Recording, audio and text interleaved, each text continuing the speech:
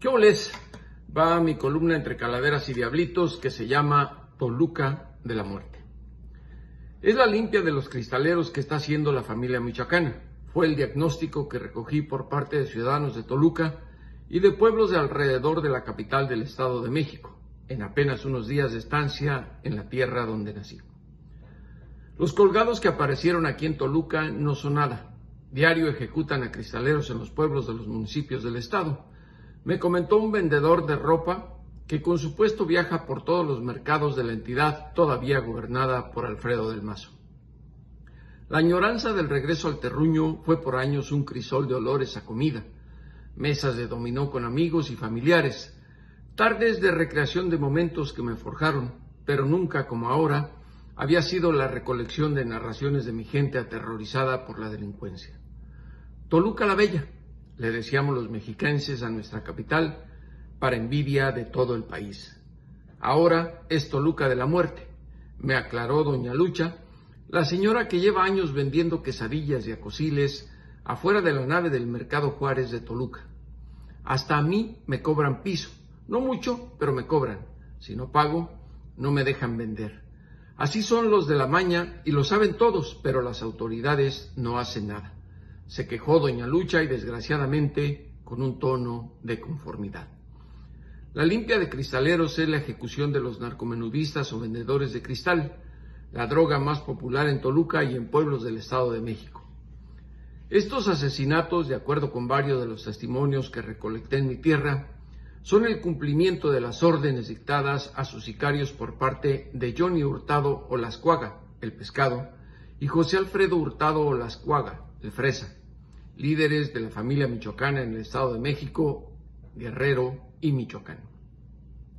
Del Mazo tiene por lo menos cinco años de conocimiento tácito de que el pescado y el fresa han dejado un río de sangre por todo el estado, especialmente en los pueblos que colindan con Guerrero y Michoacán, sin que haga e hiciera absolutamente nada al respecto.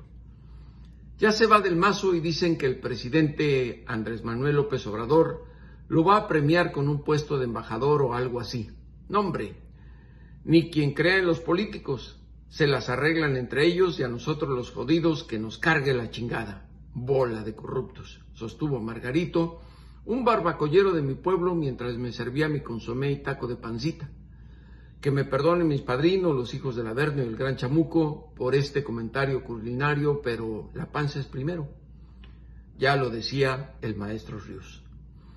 En una entrega anterior de Entre Calaveras y Diablitos habíamos dado cuenta de que la gente del pescado y el fresa cobran piso a puesteros en los mercados de los pueblos del Edomex. Lo mismo a dueños de todo tipo de negocios, desde el más pequeño hasta pasar por los medianos y las grandes empresas.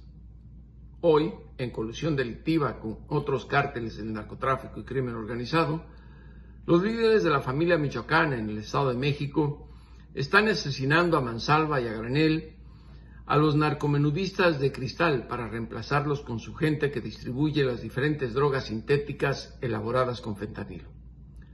Como consecuencia de ello, han aumentado los secuestros, desaparición de personas, extorsiones, robo de autos, feminicidios y no se diga la ejecución de jóvenes, como estamos dando cuenta con estos tecladazos. La tranquilidad de aquellos caseríos y pueblos al pie del Nevado de Toluca se transformó en zona de terror. En la ranchería de Raíces, la maña le cosió los labios a una mujer que se atrevió a denunciar ante las autoridades del Estado la incontenible tala de los árboles antes famosos por ser el manto que cubría las faldas del Chinantecatl. Adivinaron, los responsables de esa tala son el fresa y el pescado. Todos los días, entre las 2 y 3 de la mañana, por las carreteras de las faldas del Nevado, desfilan decenas de tráileres y camiones repletos de madera. La carretera de las lagunas de Zempoala puede, ser una trampa mortal para un ciudadano común y corriente que a esas horas de la madrugada se atreva a circular por esa culebresca tira de asfalto que, que pertenece y controlan a esas horas el fresa y el pescado. Aquí le paro. Temo se diluya el recuerdo gustativo de la torta y los tacos que me comí en mi tierra. Solo acuso lo que se le viene a Delfina Gómez. Hasta la próxima.